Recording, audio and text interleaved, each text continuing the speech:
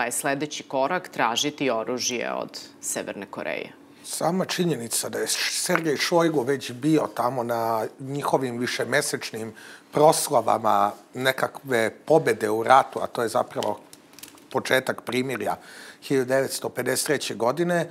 On je, verujem, izdogovarao tu Trumpu za oružje.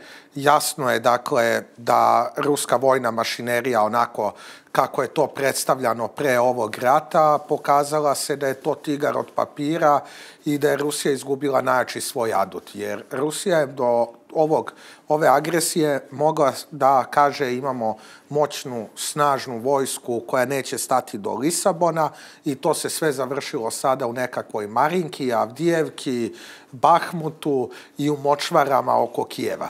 I zapravo sama činjenica da se pazite, još uvek stalna članica Saveta bezbenosti Ujedinjenih nacija, okreće najodmetnutijoj državi na svetu, Severnoj Koreji, okreće se također drugom odmetniku, Iranu, i da niko drugi osim ta dva otpadnika iz međunarodne zajednice... Otpadnici sa nuklearnim naoružanjem. Sa nuklearnim naoružanjem. Sad čuli smo Izrael da će najverovatnije intervenisati po pitanju Irana ako se dokaže da su stigli do onih 90, preko 90%, ali su otpadnici. To što e, Severna Koreja vam je dobar primjer da vam oružje ne znači ništa u međunarodnim odnosima.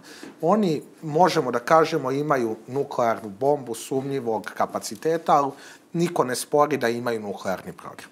Ali šta to znači Severnoj Koreji u odnosu sa Japanom, sa jednom Švajcarskom, Slovačkom, sa Češkom, e, dakle, evo sa Rumunijom ili sa Srbijom? Apsolutno ništa no oni sa svojom nuklearnom bojevom glavom ne mogu da uspostave trgovinske sporazume i ne mogu da imaju međunarodni kapacitet da donose odluke.